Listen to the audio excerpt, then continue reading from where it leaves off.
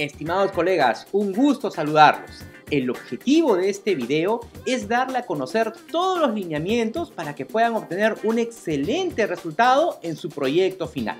Así que lo primero que debemos tomar en cuenta es de que el trabajo se desarrollará en equipos y los grupos estarán formados por entre 4 a 5 integrantes.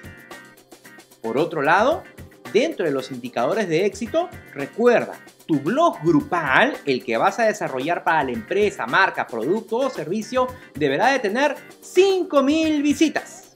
Vamos a contar con una red social. Esta red social va a ser Facebook y deberá de tener por lo menos 300 likes. Si lo deseas, puedes trabajar con una red social adicional, que puede ser Instagram, LinkedIn o Twitter. Elige entre una de esas tres. Cualquiera de ellas deberá de tener también 300 followers. Si lo consideras o de repente como resultado de las actividades que has venido desarrollando, no lograste alcanzar 300 followers en Instagram o en Twitter, se me ocurre, puede darse el caso de que tengas 200 en Instagram y 100 en Twitter. Eso también es válido, no hay ningún problema.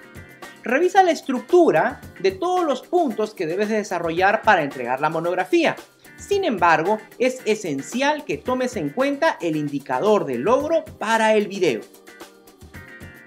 Recuerda que el video tiene 10 puntos de peso en tu calificación final y deberá tener 800 reproducciones, 250 likes, 150 comentarios y una cantidad no mayor al 30% de dislikes.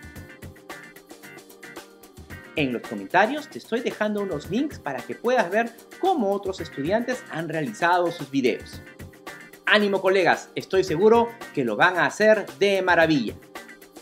En lo que refiere a la monografía, tienes que contemplar empresa, producto o servicio a presentar, mercado objetivo y sobre este punto no me digas hombres y mujeres de todas las edades. Realiza una correcta segmentación de mercados especifica de manera puntual a quién te vas a dirigir. No olvides mencionar el modelo de negocio electrónico, B2B, B2C, C2C, el que fuese.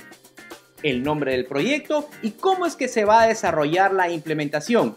No olvides que en esta parte es esencial tomar en cuenta todos los protocolos de seguridad en Internet. Por lo tanto, deberás de cotizar cuál es el procedimiento para tener una certificación de seguridad los medios de pago y finalmente las estrategias de marketing por Internet.